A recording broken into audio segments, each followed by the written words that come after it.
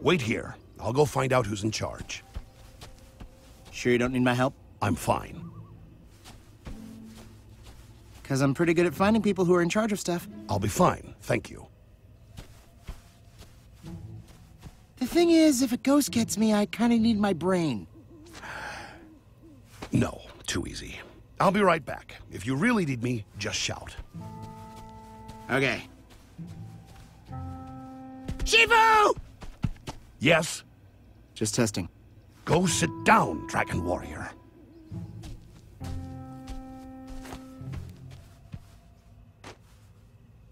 Right. Sitting.